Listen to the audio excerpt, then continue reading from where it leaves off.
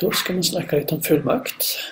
Eh, kompetansemålet i læreplanen sier at du skal kunne bruke reglene om fullmakt. Vil si du skal kunne drøfte og finne ut om det er inngått en avtale ved hjelp av fullmakt eller ikke. Først da noen begreper. Eh, fullmakt det er altså at en har gitt en person myndighet til å inngå en avtale på vegne av en annen. Fullmaktsgiveren, det er den som gir en annen person til rett til å handle på sine vegne. Fullmektingen er altså den som har fått fullmakt til å handle på fullmektsgiverens sine vegne. Og tredje person, det er den fullmektingen inngår avtale med på vegne av fullmaktsgiveren. Veldig viktig å vite her at avtalen er mellom fullmaktsgiver og tredjeperson. Fullmektigen er kun med for å hjelpe å få i stand den avtalen.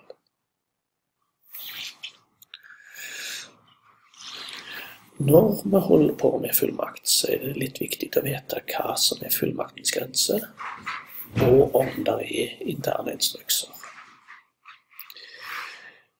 Hvis en da har en fullmakt, F.eks. fullmaktsgiveren gir beskjed til fullmektigen kan du gå og kjøpe en bil hos tredjeperson. Da er altså fullmaktens grense å kjøpe bil.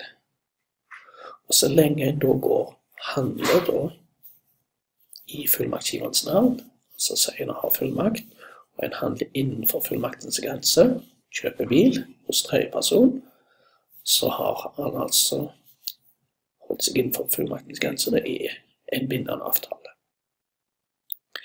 Men så er det ofte at fullmaktsgiveren gir fullmektigen noe vi kaller for en intern instruks. Loven kaller det en forskrift. For eksempel så kan en da si til fullmektigen du skal betale maks 100 000 for bilen. Veldig greit å kun fortelle dette til fullmektigen, for da har han jo mulighet til å forhandle. Hadde han fortalt dette til tredjeperson, så hadde jo prisen blitt 100 000. Hvis jeg da fullmektigen kommer til tredjeperson, kjøper bilen, altså innenfor fullmaktens grense, men så betaler han mer enn han har fått beskjed om i den interne instruksen. Han betaler f.eks. 110 000. Så må vi da sjekke etterpå om tredjeperson var i god tro eller ikke. Burde han ha skjønt at fullmektigen brøt instruksen sin? Hvis han burde skjønt dette her, så er han ikke i god tro, og det er ikke inngått en avtale. Burde han ikke ha skjønt dette her, så er han altså i god tro, og det er inngått en avtale.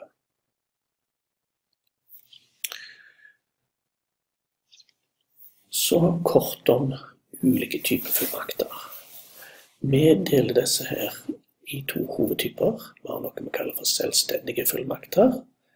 Det er fullmakter der tredjeperson på en måte har gjort er kjent med at fullmektigen har fullmakt. Fullmakten er altså på en måte gjort synbar for tredjeperson.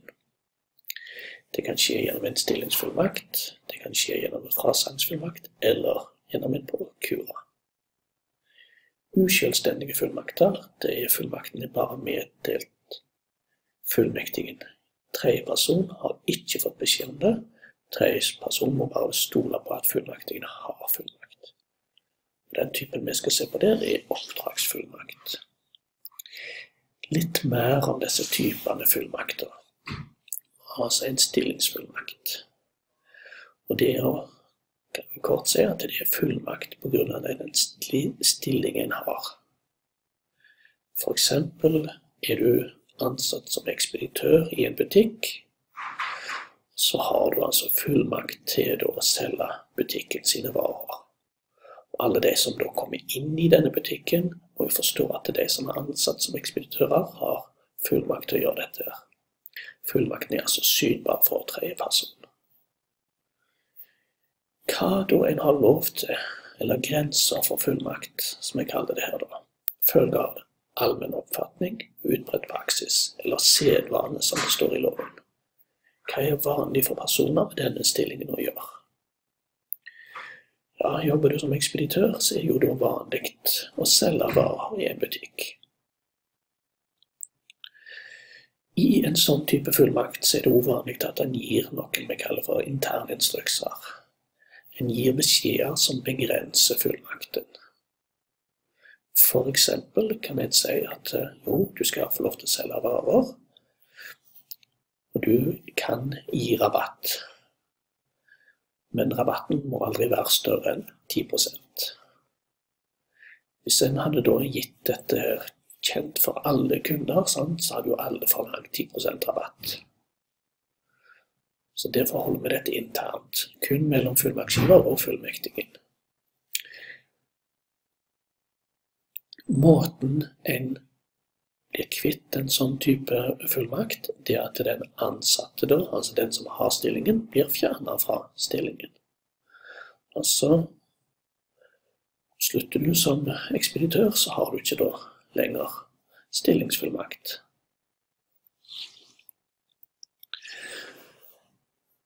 Den andre typen er det vi kaller for frasangsfullmakt. Felles for disse er at fullmaktsgiver gir beskjed til tredjeperson om fullmakten. Det kan skje på tre måter. Det kan skje gjennom det vi kaller for en særskilt erklæring. Altså en sender en brev, et e-post, ringer til noen og sier at fullmektigen har fullmakt. Det kan skje gjennom en offentlig kunngjøring. Altså en setter inn annonser i aviser, i fagpresse osv. Og, så og ser at denne, denne personen har fullmakt til å handle på mine vegne. Den tredje måten er det vi kaller for et skriftlig fullmakt. Da får fullmektigen et dokument, altså et fullmaktsdokument, som kan bli vist fram til tredje person. Og på denne måten får du altså tredje person vite om fullmakten hva en da har lov til å gjøre som fullmektig. Så grenser for fullmakten går framover det som er gitt beskjed om i brevet, i e-posten, i telefonen. Det som står i den offentlige kunngjøringen, eller i det dokumentet som er ment å vises fram. Et eksempel på et sånt dokument finner dere øverst til høyre her. Fullmakt. Jeg gir med dette eiendomsmegler Gro Velle fullmakt til å selge hytta mi på Seljestad til høystbydende og underskrevet av Alvhilde Olesen. Fullmaktsgiveren, Alvhilde, har da altså gitt fullmektigen, Gro, fullmakt, og en tredjeperson får vite dette når dette dokumentet blir vist fram. Fullmaktens grense, som vi leser av dokumentet, er jo da å selge hytta på Seljestad til høystbydende. Her òg kan det være snakk om interne instrukser, altså beskjeder som er kun ikke er kjent for medkontrahenten eller tredjeperson. Det er bare meddelt fullmektigen. Sånne type fullmakter tilbakekalles på samme måte som de blir gitt. Altså er de gitt gjennom en særskilt erklæring, så er det altså da et brev eller en e-post eller en telefon da må en altså sende et nytt brev, sende en ny e-post eller sende, ringe på nytt for å tilbakekalle den. Er det gjennom en offentlig kunngjøring, så må en altså sette en ny annonse. Er det en skriftlig fullmakt, så må en altså be om å få tilbake dokumentet, eller be om at dokumentet blir ødelagt.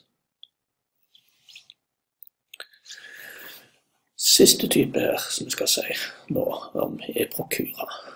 Det en vidtgående fullmakt som er regulert i en egen lov, prokuraloven. Den gjelder for ansatte i ledende stillinger. Og en sånn fullmakt, de som har dette, blir kalt altså for prokurist. Hvem som er prokurister, hvem som har prokurafullmakt, blir da meldt i foretaksregisteret.